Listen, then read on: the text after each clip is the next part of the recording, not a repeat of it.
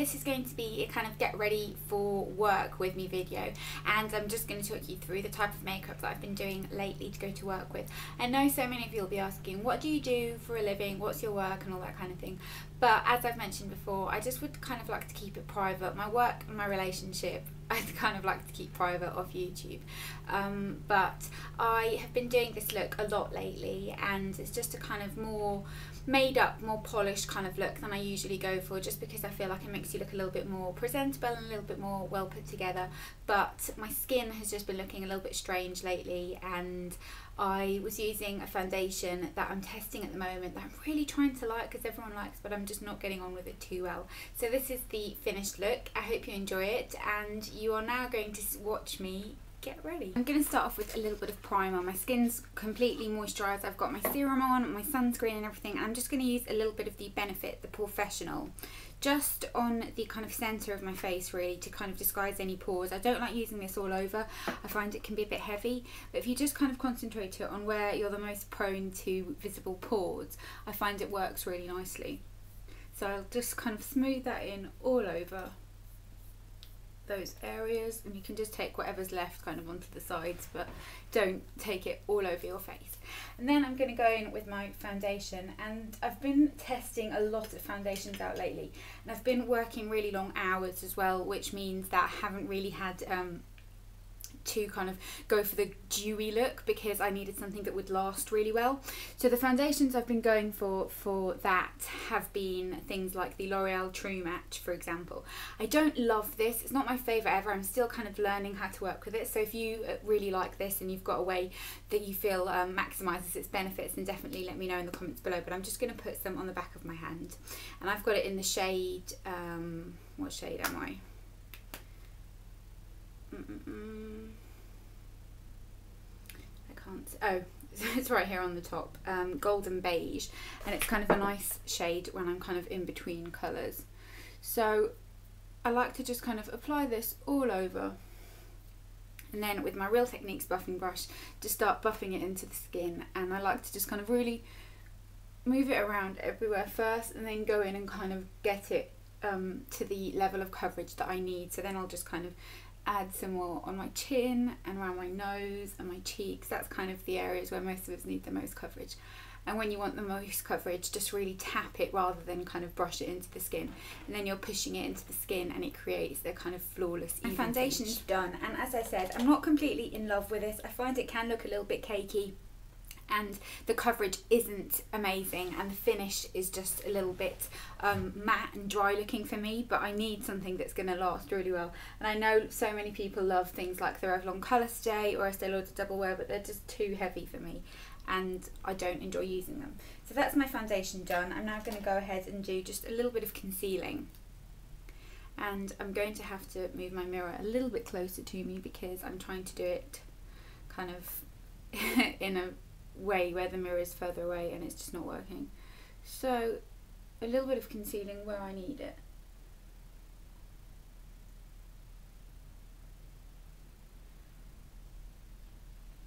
And here's something no one tells you. Doing your makeup in front of really harsh studio lighting is not very fun because you suddenly think your skin that you thought kind of looked alright looks terrible because it shows every tiny little thing. I'm looking at my skin now and I just think, oh my god, my skin looks horrific. So with the same brush, just working the concealer into any problem areas and then between my brows, I'm just going to dab it with my finger just because I don't want to kind of move any foundation onto there because I break out really, really easily there.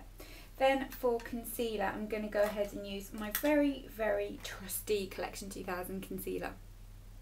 I'm going to go and pick up the Maybelline Fit Me concealer at some point as well. I keep meaning to and I forget. So just a little bit of that under the eyes. Again, this type of lighting really makes your under eye area look awful. And then just tap that in with your um, ring finger. I don't ever do it with my ring finger, I do it with kind of my middle finger just because I find my ring finger too small and it doesn't really work for me. So just tap there. So I then went ahead and powdered my skin and to powder my skin I used the Miners Fresh Face Powder. I really like this actually. It's just a nice lightweight powder, not too mattifying and not too cakey looking. So I went ahead and applied that all over. And now I'm going to go in with some bronzer and I'm going to use the Sleek Contour Kit. This is in the shade medium. I don't use this all the time but I've just kind of fished it out of my collection and I'm using it at the moment. I'm using a big fluffy brush and I'm just going to warm my neck up because I feel like even when I fake tan and no matter what I do my neck's always a weird shade compared to my face. My face um, is always paler than my body as well because obviously I wear sunscreen on my face and everything. And then just in a kind of three motion onto my face. I don't like to put too much bronzer on my face nowadays. Then I'm going to go in and contour my face and I'm going to use my beloved, beloved um, MUA powder in number four just to give my face a little bit of shape. So suck in those cheekbones and get it in the hollow. And I have done a tutorial actually on how to make the most of your cheekbones. So I will link that in the down bar if you want to go and have a look. And I kind of show how um, different face shapes what the best way to kind of contour with that type of face would be as well. Then I like to just really buff that out just to make sure that it's not too obvious.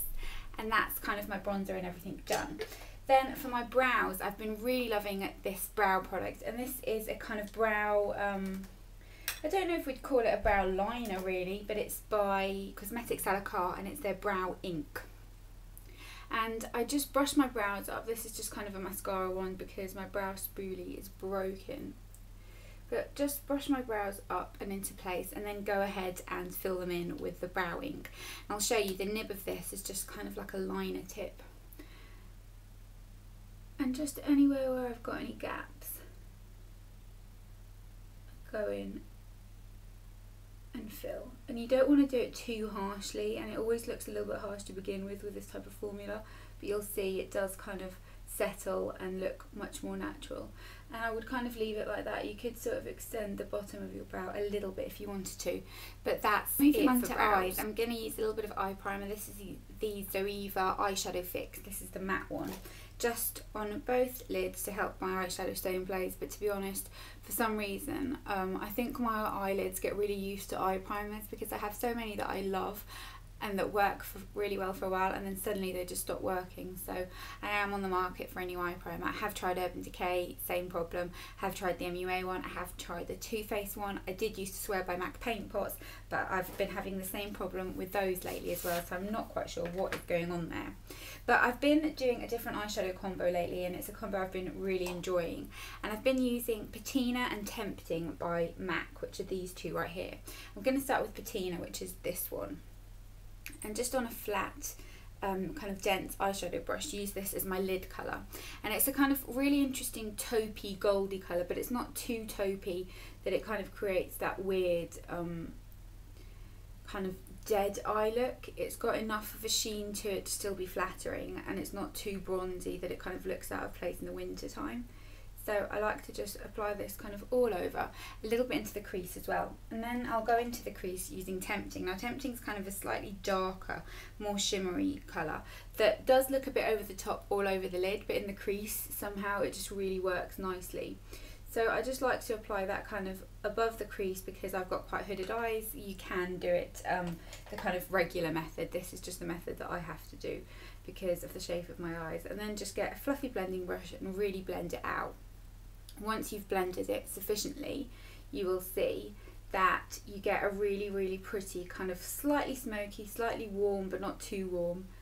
Then oh, I went ahead and applied some nude liner into my inner waterline. I used this Revlon Photo Ready Kajal and this is the Instant eyeliner and brightener and I just used the brightener side in my waterline and then applied some mascara. I didn't show you this part because I just thought who wants to see me applying mascara everyone can do that and that I used the 17 Super Lash mascara which I really like but it just smudges a little bit on me and I've been having that problem with all my mascaras lately. I don't know if my skin's been kind of greasier but it actually feels like it's been drier so I'm a bit confused but I really really like this. I think it's really nice and it does make your lashes feel really long. So that's that for mascara. And then I'm going to go ahead and do a little bit of blusher. And I've been using this really lovely blush by Lily Lolo and it's called Ooh La La. it's a really cute name. And it's one of their mineral blushes. And I'm just going to get a little fluffy blush brush. And this is what the packaging of this looks like. And when you open it up it kind of comes with one of those little dispensers and you get some in the lid. And I'm just going to take a little bit of what's on the lid get rid of any excess and apply it to kind of the higher point of my cheeks or rather than the apples because I find that just kind of suits my face shape better and it makes my round face look a little bit slimmer too.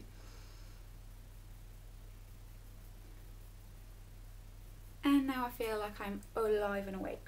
I was going to put some highlighter on but I feel like my skin looks a little bit weird this morning so I'm not going to put any highlighter on because I feel like that just kind of accentuates the fact that my skin looks a bit weird.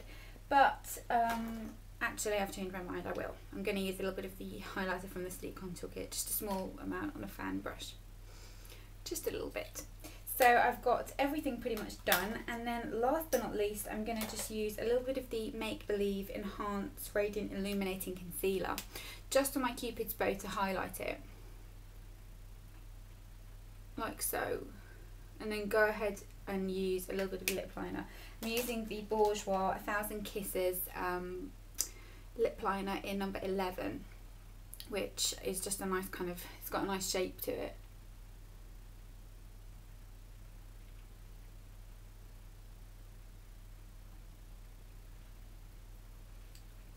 and apply that all over. And then for my lips I'm just going to use a Revlon uh, chubby stick type of thing what these called? The Revlon Colour Burst. This is one of the original ones the Balm Stains. And this is in shade Love Sick and it's just a kind of bright pink nice colour